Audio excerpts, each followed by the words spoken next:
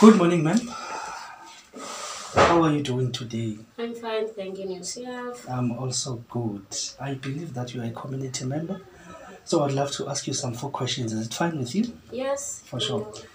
What is your name and surname and where are you from? My name is Synobia Geduld and I'm from Beaufort West. Okay.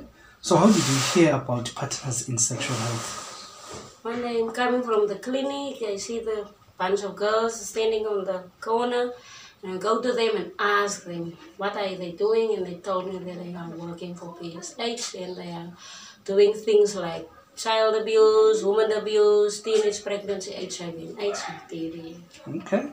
So which problem did you experience before you interacting with partners in sexual health? I have a relationship problem. My boyfriend was abusive. And one day, one of the girls came to me and asked me why I'm looking so sad, and I told them, and they referred me to someone.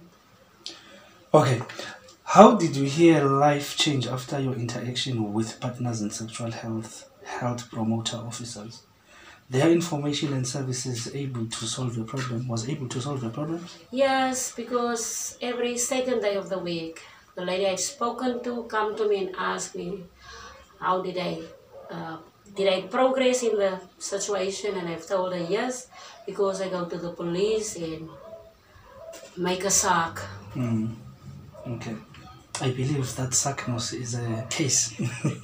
Yes, All I right. make a case. All right. So PSH Common Good Youth Project Sexual Reproductive Health Project is funded by the Social Employment Fund. Is this a project you would like to see in the community and why? Yes, I really want to see it in the community because they are helping the youth very much. And because they are talking to them about teenage pregnancy, HIV and AIDS, STIs, all that things. That's why I really like it. I love it even. And they are not shy, they are talking really.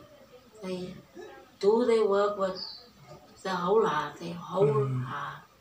Okay. That's why I feel PSH must stay. All right. So you saw the project as an impact in the community. Yes, All right. yes, All right, ma'am. Thank you very much for your time. My pleasure. Thank you.